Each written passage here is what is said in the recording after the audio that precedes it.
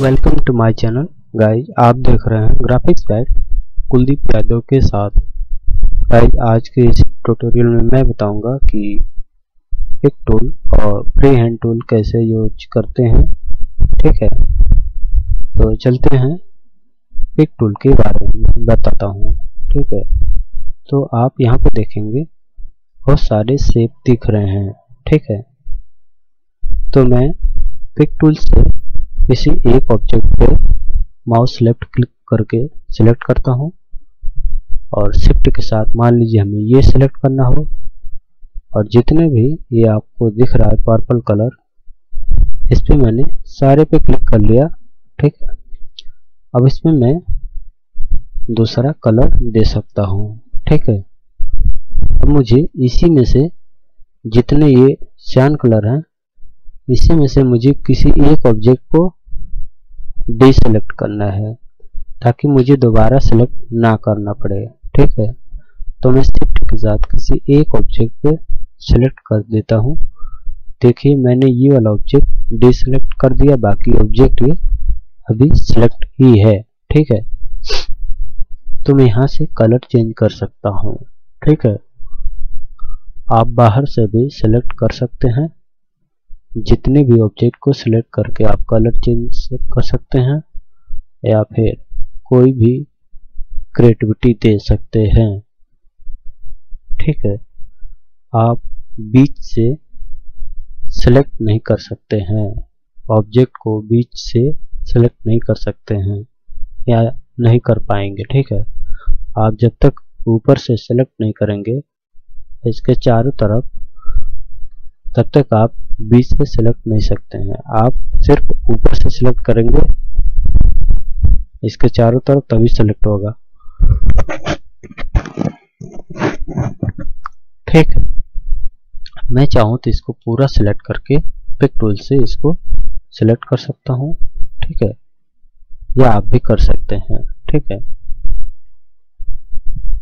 दूसरा ऑप्शन ये कि आप पिक टूल से इसको छोटा या बड़ा कर सकते हैं, या फिर यहाँ से हटा सकते हैं। माउस लेफ़्ट क्लिक किया और यहाँ से हटा सकते हैं। ठीक है। तीसरा ऑप्शन कि आप माउस लेफ़्ट क्लिक करके इसको एक बार और इसी पे क्लिक करेंगे माउस लेफ़्ट तो ये आपके एंगल रोटेशन में कन्वर्ट हो जाएगा और यहाँ से आप एंगल चेंज कर सकते हैं। जैसे मान लीजिए मैं कंट्रोल जेड मारता हूँ तो अभी देखें आप, ऐसे आपको हॉरिजेंटल में दिख रहा है, लेकिन मुझे चाहिए ये वर्टिकल में। तो मैं इसको सेलेक्ट करूँगा एक बार और, एक बार और सेलेक्ट करके मुझे कंट्रोल के साथ इसको सिर्फ़ माउस लेफ़्ट क्लिक करके इसको ड्रैग करने हैं नीचे की तरफ़ या फिर ऊपर की तरफ़।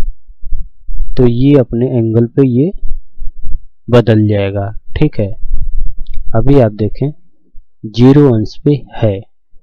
मुझे 90 डिग्री पे करने हैं तो सिलेक्ट करके कंट्रोल दबा करके आप माउस लेफ़्ट क्लिक करके आप इसको ट्रैक करेंगे। तो यहाँ पे देखेंगे 200 270 डिग्री यानी एंगल पे ये चेंज हो चुका है, ठीक है?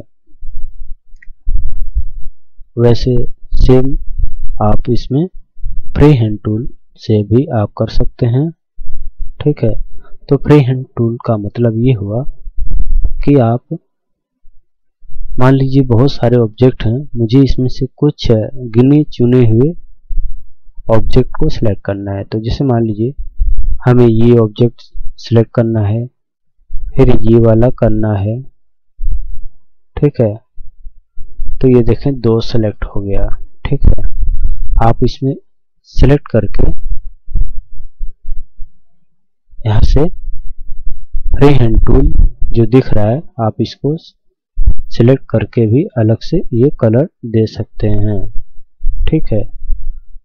हाँ लेकिन आप अगर सेलेक्ट करेंगे तो आपको ऐसे सिलेक्ट करना पड़ेगा, ठीक है।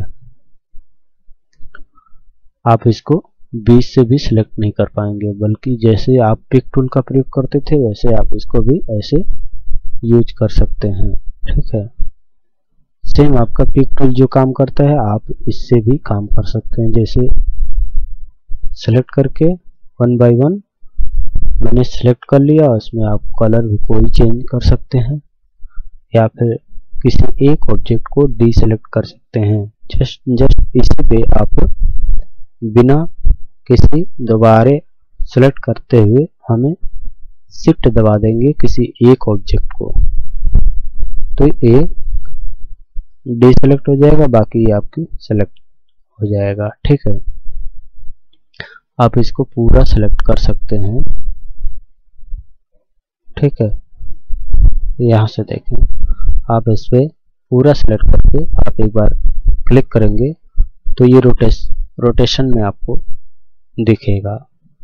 आप यहाँ से राउंडिंग कर सकते हैं, घुमा सकते हैं ऑब्जेक्ट को, ठीक है? सेलेक्ट भी कर सकते हैं, इधर से उधर ले जा भी सकते हैं। ये देखें, ठीक है?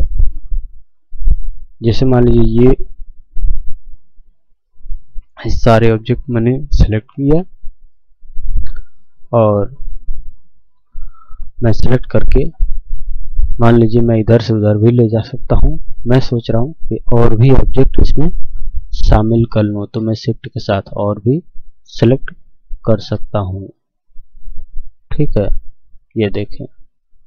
ठीक है? तो आई थिंक आप फ्री हैंड टूल और पिक टूल के बारे में समझ गए होंगे। ठीक है? तो वीडियो कैसी लगी? लाइक करें और सब्सक्राइब भी करें, ठीक है? तो नेक्स्ट वीडियो में मिलते हैं आपसे, तब तक के लिए नमस्कार, थैंक यू।